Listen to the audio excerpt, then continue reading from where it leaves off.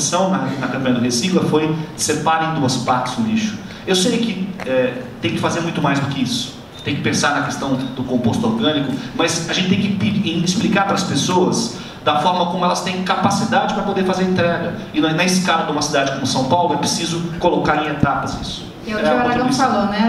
As gerações que aprenderam de uma determinada maneira. Você vai falar para alguém que aprendeu que é super prático usar uma vez e jogar fora, que isso é super errado, isso não se faz, tem que lavar e usar de novo. É uma geração inteira a ser transformada.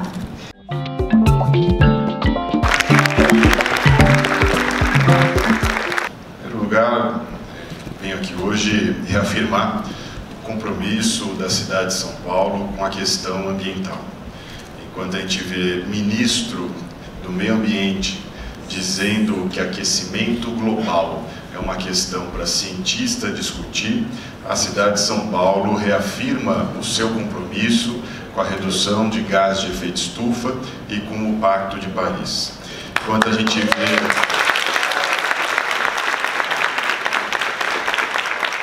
enquanto a gente vê o governo federal se recusando a assinar o compromisso global em relação à nova economia do plástico, a cidade de São Paulo faz questão de ser a primeira cidade do país a assinar o compromisso global para a nova economia do plástico. Enfim,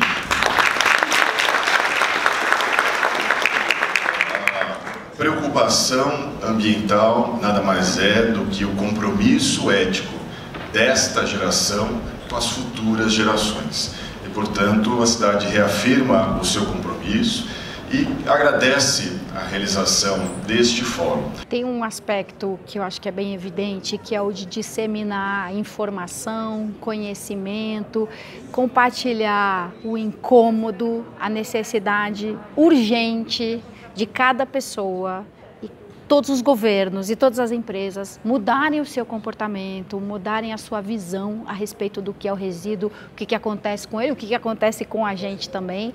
Mas tem um outro lado que é super importante, que é o ânimo. É a gente se encontrar e conhecer iniciativas, pessoas, grupos, empresas, governos que estão indo nessa mesma direção, que estão fazendo diferença. Porque senão a gente é, se desmobiliza, a sensação de impotência, a sensação de ser pequeno é muito ruim. E aí a gente se vê grande de novo.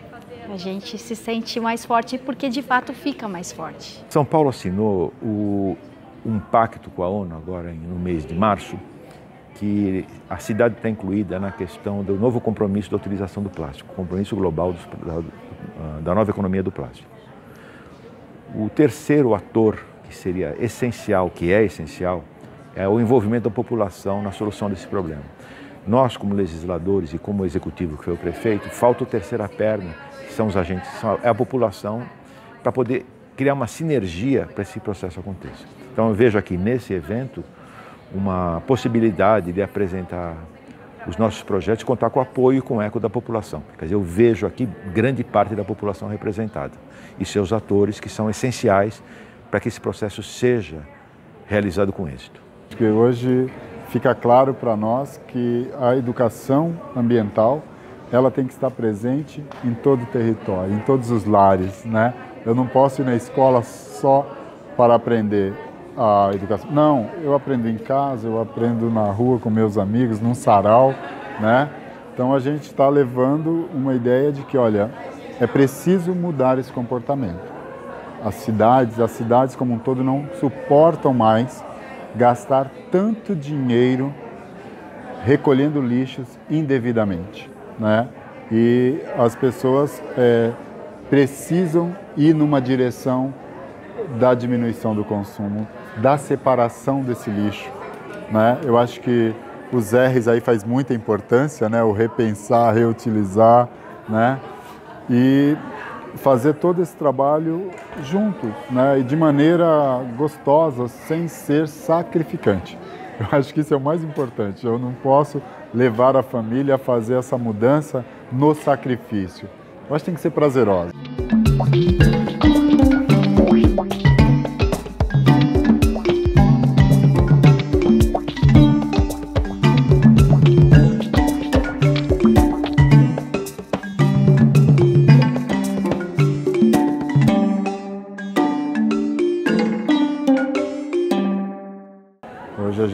Projetos na Serra do Mar, em parceria com o CDHU, Cubatão, em Guarulhos também com o CDHU. Na capital, né, temos parceria com a Inova e com a Soma, são empresas parceiras e que financiam o nosso trabalho, que é fazer um trabalho de conscientização e sensibilização também dos moradores para que eles possam descartar o seu lixo de maneira correta, ou seja, respeitando horário, dia e local para esse descarte. Né? E também fazendo um trabalho muito de superar os pontos viciados que a cidade de São Paulo tem, que chamam também de pontos de descarte irregular. Ou seja, o prefeito disse hoje que ainda tem mais de 2 mil pontos, então você imagina é, uma cidade doente, né? A gente tem esses pontos de lixo como feridas desta cidade, que a gente precisa trabalhar essa cura, né?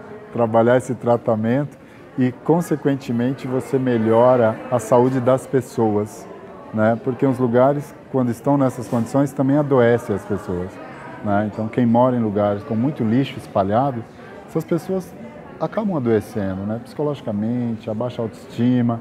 Então, a ideia é que quanto mais o lugar fica limpo, mais iluminado, melhora a autoestima das pessoas, melhoram as suas casas, né?